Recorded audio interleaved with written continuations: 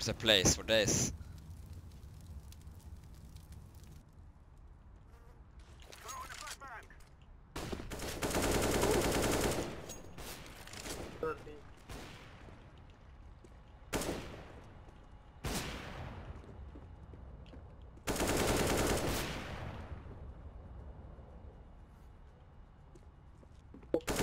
Oh, place for days. Kan vi prøve noe veldig risky?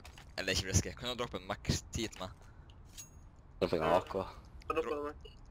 Ok, ja. La meg gå først, monster, ok? Så følger dere sakte etter meg bak. In the backside.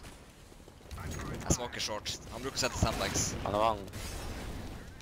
Hvorfor var ikke blank da?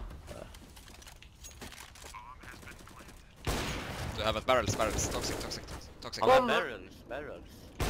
Da. Short den.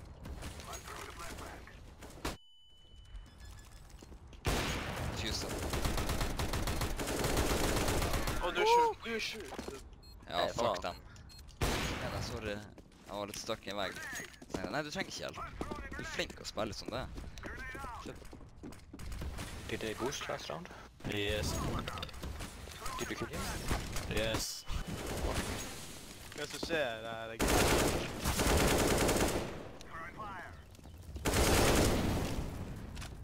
XD. Bare gå ut platform nå, OK? I got you back. Hopp ut og gå shortcut med en gang, OK? Så burde du flashe litt.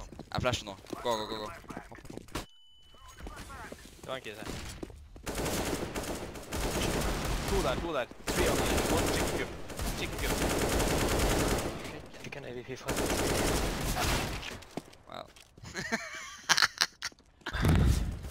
Jeg går it.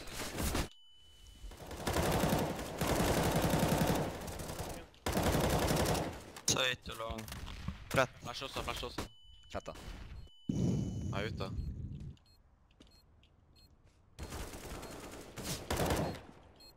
Venstre. Du kan pike deg venstre.